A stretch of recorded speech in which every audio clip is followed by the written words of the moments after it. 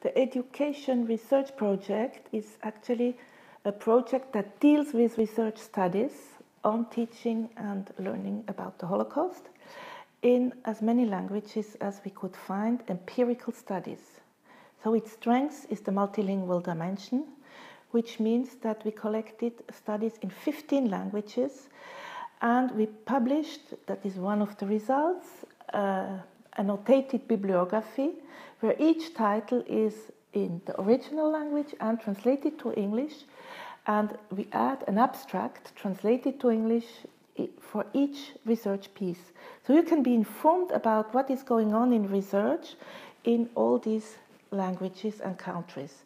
It is kind of a mapping of research, and the aim of the whole project was to uh, analyze the state of research, to bring together this research, and to create dialogue between practice, research, and policymakers, and in a way to fill up the gap in between practice and research.